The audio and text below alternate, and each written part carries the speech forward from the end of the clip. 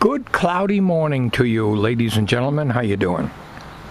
Today, I'm going to design and build, at least try to if it don't rain, the generator slide out drawer. Now, if I if this thing works out the way I want it to, it's going to come out about halfway out to here. Or maybe even more. I've got a 2 by 3 I'm going to drill down and I'm going to screw it on end. There's going to be two tracks. I've got half inch plywood. I got a 48 by 44 or 45 inch piece here, which is bigger than I really need. And on the edge here, I'm going to be mounting these metal strips that you just saw. I had a guy at Home Depot cut it down. over 10 feet and it was too long for the pickup truck. But I don't need 10 feet. This is going to be, this is 5 eighths. They don't make them half inch. This is made for 5 8 inch thick sheetrock. It's galvanized and what's going to do is it's going to go on both edges of the plywood and the plywood this will ride like this on the plywood. This will ride like this. And you're saying, well, okay, how are you going to have this so it won't be too much friction? With the weight of a generator with a full tank of gas is probably weighing about 125, 130 pounds. That's where Harbor Freight came in. These are little roller bearings, one inch roller bearing. They have them a little smaller than this. Each one of these is rated at a maximum of 150 pounds. There's going to be six of them underneath that plywood. They are going to roll, once I get the two vertical tracks in here, they are going to roll like this. I just put some 3-in-1 oil in this hole here. Now they're going to roll on a 2x6. Six of them.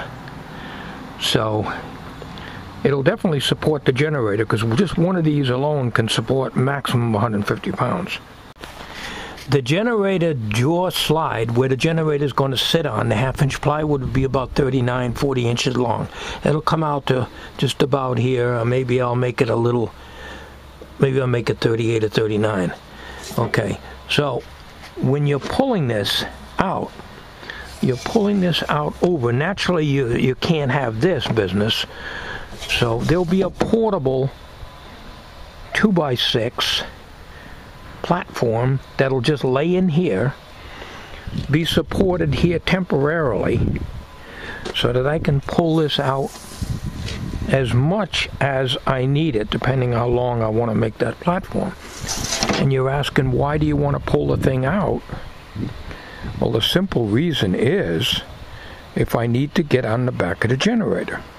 If you look at the back of the generator, if I need to get at the spark plug to change the plug or anything, this part of the generator here is going to be facing the wall.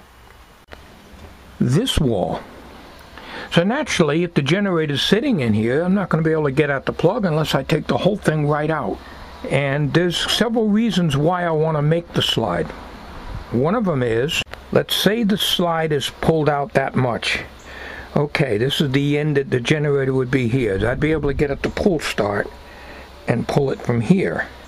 Once I got it running and set the choke and everything else, then this thing could be slid right up against here, locked into place with a pin that'll drop down to the floor to keep it from rolling.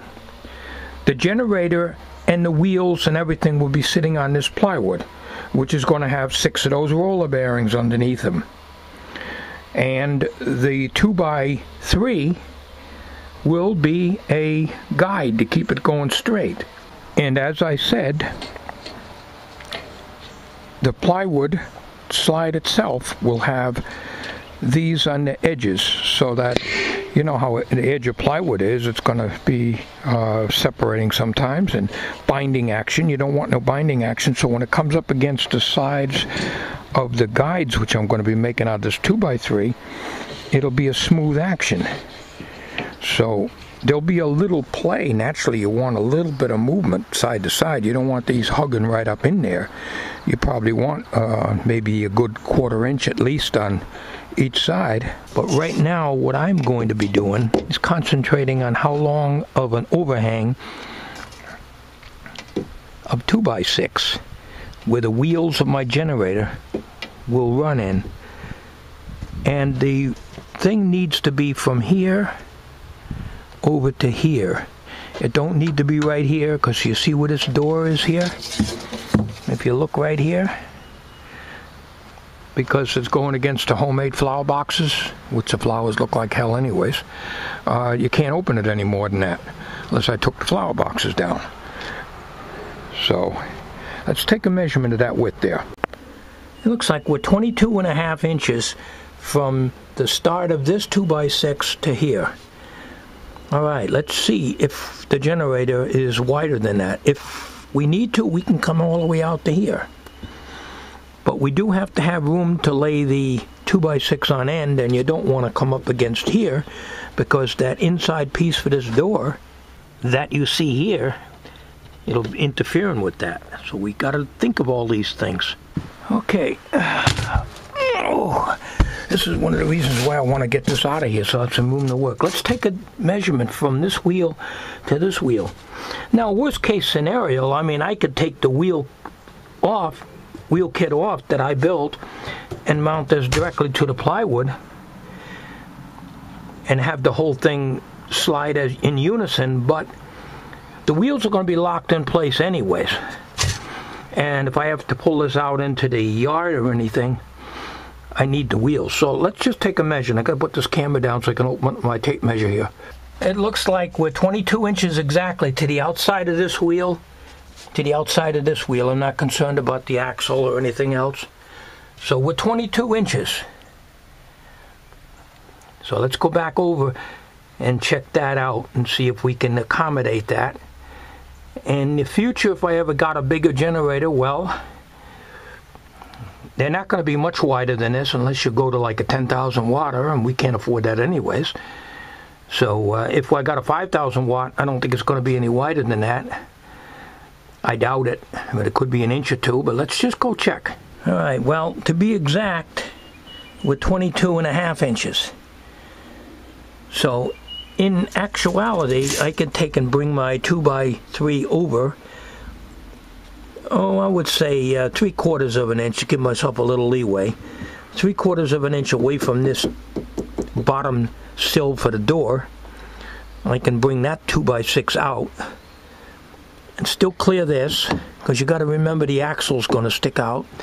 But the generator can be moved left or right and then mounted to the board by way of um, U-clamps or something like that.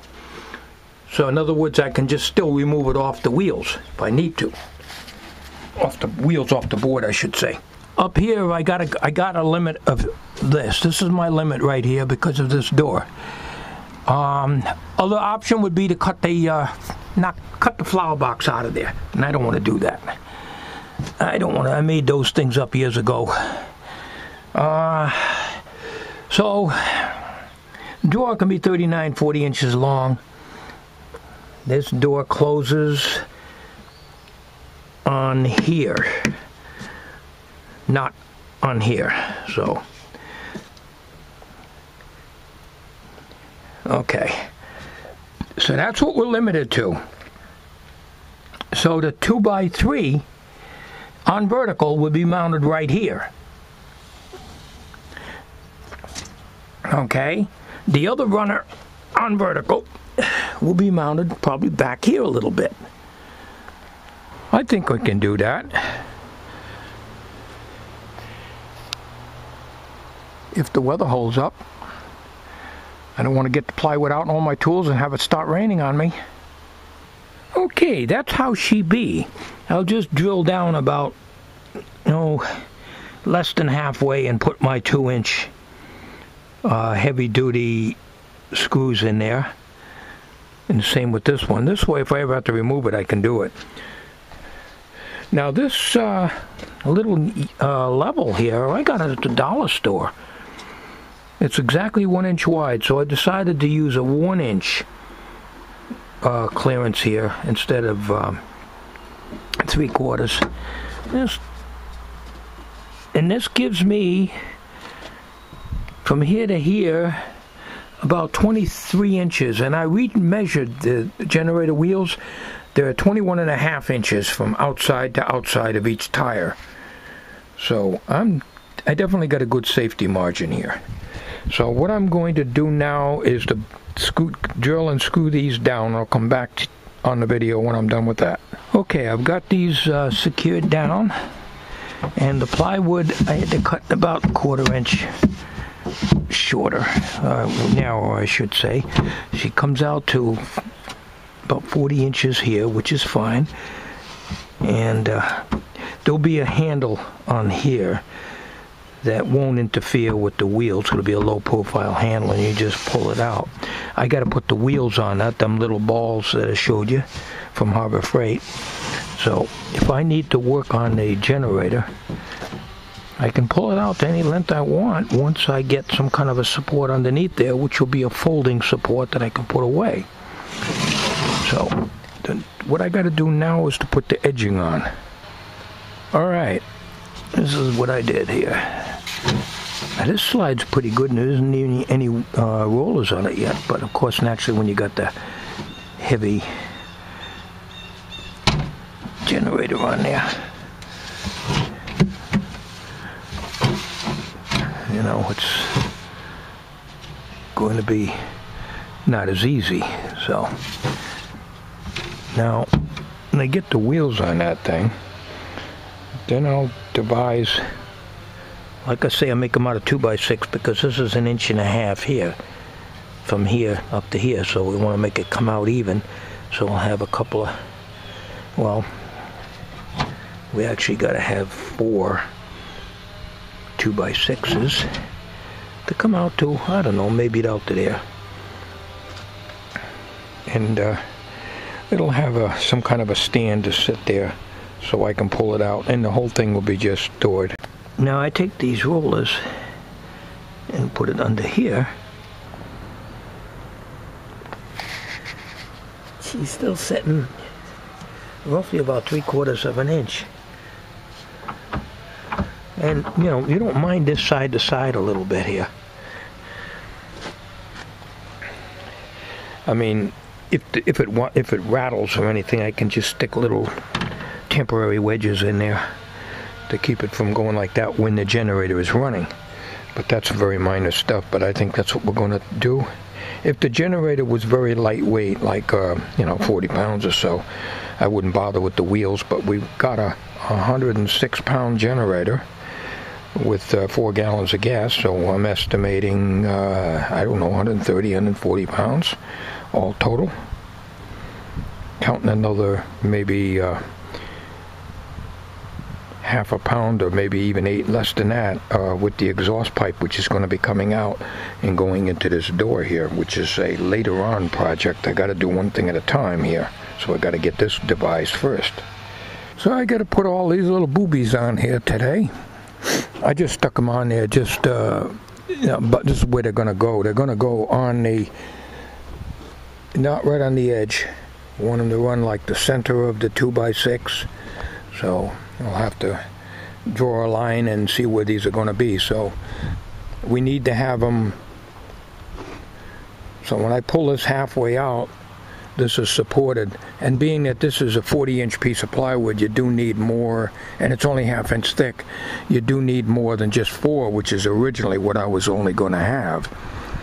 I was going to use three quarter. I've got one piece of three quarter, but it's underneath everything in the side shed, and I'm not about to dig it out.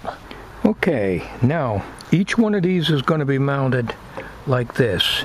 Now you're probably wondering what these holes are here. Well, this is going to be mounted here, but this is the top of the board. You have to have a way of oiling these things every once in a while. And there's a little oil hole right here. It doesn't say that on the instructions, but I put a little 3-in-1 oil in there. And it runs out on this, no big deal. Because I don't think these are ball bearings or anything. I just I think it's just smooth cup in here, but you do have to oil it. So naturally, when this is on this way, then you stick your three-in-one oil can in here and oil them from the top. You don't have to take them off and oil them, or take the generator off and put oil here. You know, it's called stinking ahead. I mean thinking ahead. okay, we got all the boobs mounted and is the oil holes here. So I'm ready to put this in.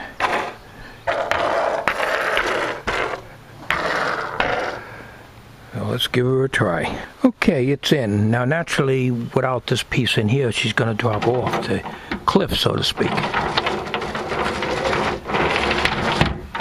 And- there's a little play, because that's what you want. You know, be able to move this in and out. Naturally, the second set of wheels, the ones in the middle, should come out to about there. But I could make the extension longer to support that. But my intention is I don't even need to pull it out this far to get the pull start. But if I have to replace the plug, well, that's another story. You can see where the oil is running. But I'd rather have too much oil on them than not enough. So, what I'm going to do is I'm going to put some kind of a some kind of a handle because the 2 by 6s are coming up flush with this. So I could probably put a little piece of wood in here and mount a handle on there or I can mount a handle right here just so I can pull this out. Naturally, it'll have a stop. When this is running, I'll probably have to make a hole here or somewhere in this area and drop a, a eye bolt or something down in there to keep it keep it up there. So there's going to be a little play. You got to expect that. That's what I want. You don't want that thing so damn tight you won't be able to push it in and out. Alright, I put some braces on here. I couldn't find any more furring strip. This is old one from the screen house. And this is a leftover from the uh, trim on the porch. And so I put a half inch piece of plywood here. That just stiffens it up a little bit. Screwed it in, glued it down and everything. So now I can mount the handle on one end, the other end that I'm going to be pulling out.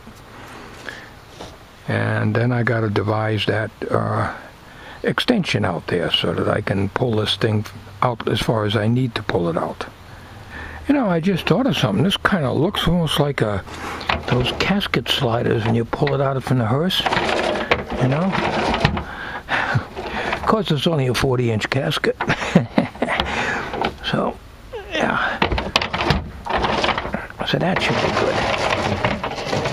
That can mean that can come out almost to the you know total length.